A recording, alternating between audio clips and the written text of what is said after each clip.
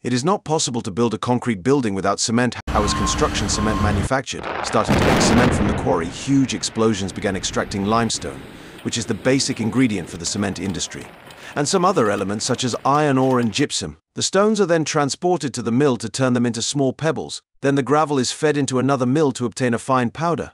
Then all the ingredients, including lime, are placed in the rotary kiln, which is called a cement kiln. It is lined from the inside with bricks. The components inside are heated to a temperature of 26-42 degrees. The large grey balls called clinker come out of the kiln. They are then cooled with air when they come out of the kiln. They are then stored in large silos. The clinker is transferred to rotary mills called cement mills.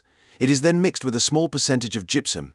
It is stored again in larger silos. A sample is taken to the laboratory for examination, and to ensure the quality of the final product, the cement is then sent for packaging in cardboard bags designed to preserve the cement and prevent its interaction with moisture.